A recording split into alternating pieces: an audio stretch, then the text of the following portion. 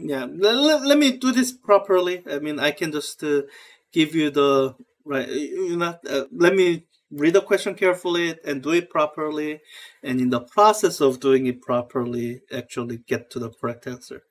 So it says, is there a phase change in the light reflected from either surface of a contact? Okay, uh, so it looks like we have a, some kind of a tear layer.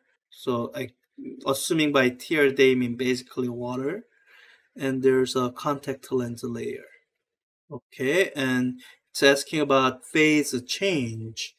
And if you read through the textbook section, whether there's a phase change on reflection depends on index of refraction.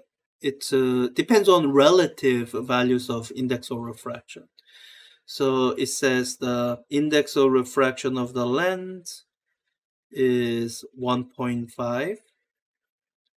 Um, and it top surface is dry, so uh, the top here would be air at n equals 1 and the bottom surface, which is water. And they're not giving you the index of refraction of water, but I've done this enough to have memorized that that's 1.33. Okay. So for clarification, there are three or four layers to consider here. Air. Okay, I got that. Uh, the lens, I got that. And the tear layer immediately below. Okay, I got that. What's the fourth layer? Uh, eye or cornea. Okay, but that doesn't uh, come into play, so I think I can leave that. All right, so those are the layers, and we are considering light coming in, reflecting from here, and some refracting through, and then reflecting from here. And as you're looking at these two reflections, um, this is the rule that you just have to know. Um, it's uh, kind of stated without proof in this class, and that's where it's gonna be at. Um, so the light, so this is the rule. Light undergoes phase change of uh, pi radian or 180 degree. You can say it either way. That is degree. Pi radian or 180 degree uh, when reflecting uh, from a medium of higher index of refraction, higher than the um, medium that it's coming in from. So you can see here how those values compare. The index of refraction of air is less than 1.5. So in this uh, uh, reflection, there will be a pi phase shift. And on um, here, you can see that 1.33 is less than 1.5. Now you will still get reflection here, but here um, there will be no phase shift. Again, it's something that you just have to know, be told, and have memorized. Know if uh, in the hint, yeah, what is the condition for phase change? You know, look at the section and it'll tell you. I do want you to memorize it, but it's fine. Um, okay, so uh, I'm just to go through each of the choices. There's a phase change in light reflected from the top surface of the contact lens only. Huh, that sounds right. That is what I'm seeing. Okay, let me just double check all the remaining choices to be sure. There's no phase change in light on either the top nor... Okay, that is wrong. There's a phase change in light and the bottom. Okay, that is wrong. Now, if this index of refraction were somehow in between, like 1.2, then that would be correct, but it's not. So there's a phase change in light reflected from the bottom surface. Uh, no, it's the other way around. So that seems right. Yeah, that's it. there's really much more to that. Um, yeah. So, okay, that was question nine. Uh, let me look at question 10. Okay, this question seems related. So let me preserve most of this writing just to replace some of the words. So it says, in placing a sample on micro slag, glass cover is placed over a water drop. Okay, so think I have some kind of a water drop here. So let me keep that.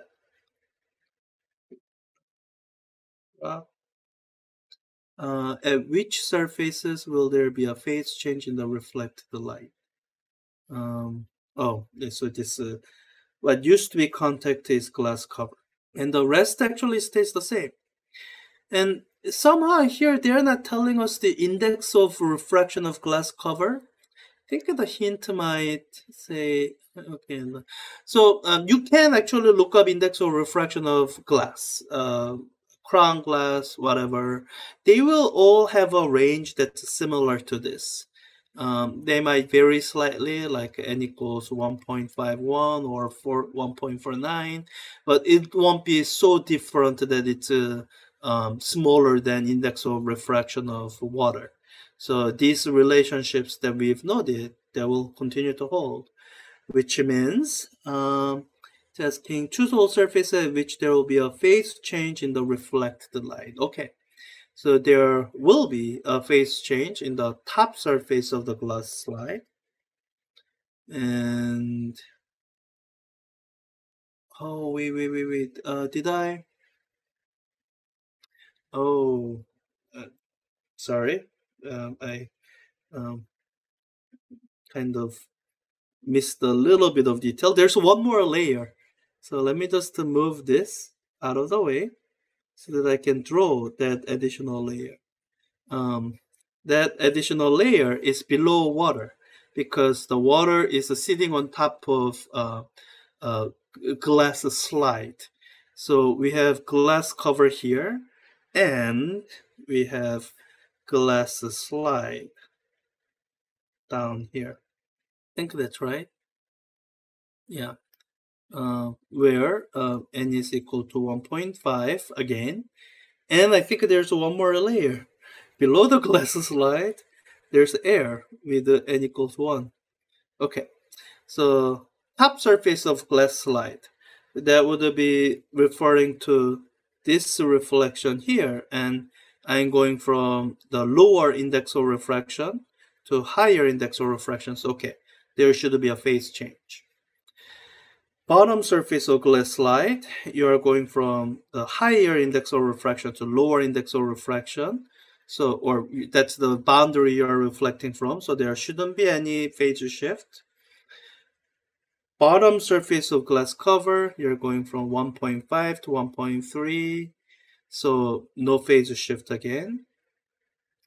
Top surface of glass cover, you are going from n equals 1 to 1.5. So yes, okay, that's it that's all the layers. I haven't forgotten anything.